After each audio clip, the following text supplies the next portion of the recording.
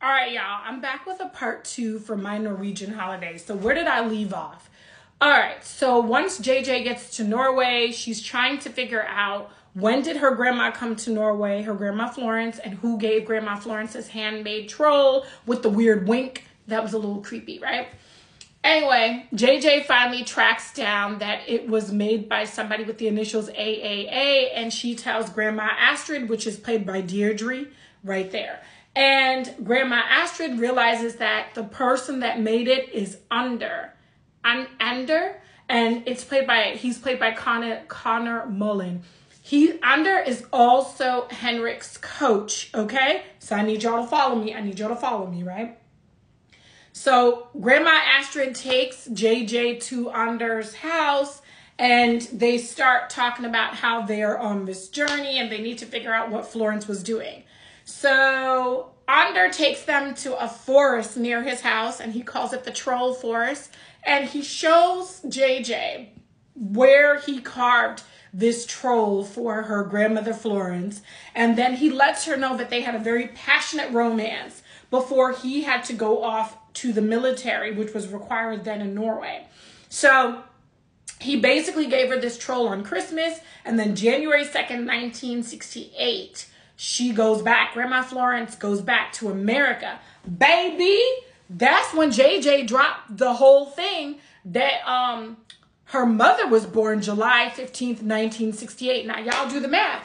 Florence done come back January 2nd, 1968 to America. And then she has a baby July 15th, 1968. It's all coming together for JJ that this this man is possibly her grandfather. And here she was thinking she had no family at all because grandma passed now, um, you know, like a year ago, and her mom passed when she was younger. So it's all coming together. And baby, that's when JJ, aka Rhiannon, delivers some beautiful acting. You see the tears falling. She's in this troll forest and she's walking by herself because she told who would be her grandfather under and grandma Astrid that she need to go ahead and walk in the troll park and think she's walking and crying, walking and crying. Grandma Astrid makes it back to the house and, and Hendrik notices that JJ is not with her. And baby, that's when the sparks fly. And I'm telling you, once you get to this point, you're going to need tissues. Okay, hold on. Baby, like I said, you're going to need tissues because all we see is Hendrik with his bum leg in the troll park trying to find JJ. She's walking and crying as strangers are just kind of looking at her. She's walking and crying. And I get it. It was her first Christmas without her grandmother. She was thinking she's all alone in this world and has no family. And now she may have found her biological grandfather all the way in Norway. And this lady started off not believing in fate. But these things could only happen through fate. And I just thought it was wonderful. So anyway, we see Hendrik running towards her, running towards her. Oh, baby. Okay, let me make myself bigger for this. Okay, so we're back in the troll park and we see Hendrik running with his bum leg, trying to find JJ, and he finds her. And Hallmark did something I've never, ever freaking seen before. Hallmark did the most passionate hug in that troll park, in that forest. The most, like when he, Hendrik, catches up with JJ, he hugs her, he embraces her, and then she looks up with tears in her eyes and he gives her another passionate hug. Baby, I can't believe this is a season where even hugs are getting passionate. And I felt that moment, like I cried. I'm gonna be honest, I've already watched this movie three times and I started watching it this morning, like at 6:30 a.m. I thought my Norwegian holiday was so good. It should have been part of Merry Thanksgiving weekend. It should have been right before a Biltmore Christmas. They could have saved that our Christmas mural for this past Friday. I think that this deserved the Merry Thanksgiving weekend numbers, and I am giving this movie a 10 out of 10. I have watched it three times. It's already one of my favorites, and I told Megan that she needs to watch it, watch it, and watch it in detail because this is a movie that from the previews, you just think to yourself, all right, we're gonna be up in Norway. It's gonna be like stink like the French market with Joyeux Noel, or it's gonna be okay like a Heidelberg holiday, um, or it's gonna be not that great like Christmas in Notting Hill. But no, my Norwegian holiday is the first themed, like country Christmas theme that I think did not only the culture of Norway, um, you know, justice, but actually gave us a taste without it seeming too rushed, even though they only have two hours. I learned a lot about Norwegian culture as Hallmark presents it. So if you're Norwegian and you saw this movie, let me know what you think.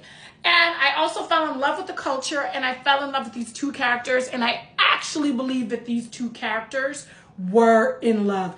Baby, Lacey Chabert, if you're watching this, this is how you do a dramedy. Rhiannon, don't let them cast you in anything where you're childish anymore. You need to be in these types of movies where you show your range, that you can go from comedy to drama. In one daggone movie, have us laughing, have us crying, have us believe in love again. And I think that's the thing that a Biltmore Christmas and my Norwegian holiday has done for me that no other Hallmark or, or count or Miracles of Christmas or Countdown to Christmas movies have done is it actually made me want to believe in love again and fall in love again. Like it actually, my cold, dead heart wanted to warm up.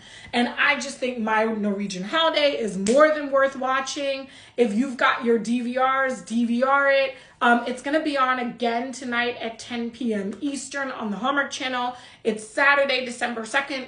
For I don't know when you guys are going to be watching this, but if you don't get to see it tonight, definitely look out for when it comes up again. I just think that it's so wonderful that we're starting the weekend, the first weekend in December, and we're still getting some surprises from Hallmark because there were some disappointments in Merry Thanksgiving weekend.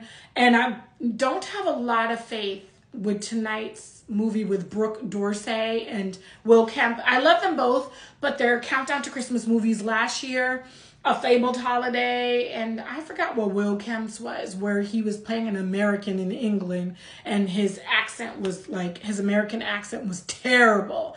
I don't have a lot of faith in it but my norwegian holiday delivered and it's making me believe that hallmark has still got some gems in them to take us all the way to christmas.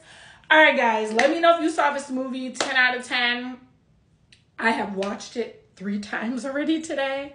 I fall in love with it every time.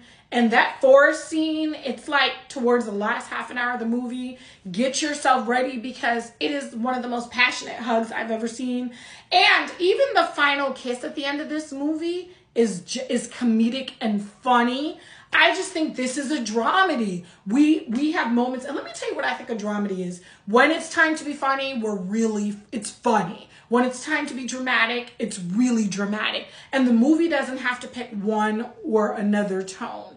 And you generally see that with blockbuster movies or movies that you'll see like on Netflix or um, major networks, you know, like ABC. You'll usually see that. So I love that Hallmark is tapping into it. Shout out to the writers of My Norwegian Holiday and definitely shout out to the entire cast because I, baby, was blown away.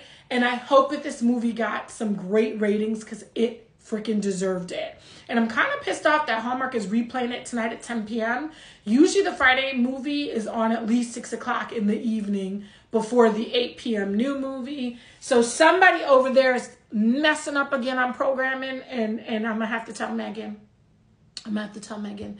All right, guys, it's KJM, My Norwegian Holiday. I'm giving it a 10 out of 10. Love this movie. This movie makes me want to be a better person. Rhiannon Fish, I hope that you're watching this. Um, people have been sleeping on you, and I think that you are going to be a heavy hitter on Hallmark. And I hope they scoop you up before another network scoops you up and gives you a multi-picture deal because I think you're just that good and I think you're just starting, baby. Shout out to David um, as well. You did an amazing job, and I just I'm just going to keep watching this movie and keep bawling my eyes out till I have no lashes left. All right, guys, be good to yourself. See you at the next Countdown to Christmas review. One love, and I'm out.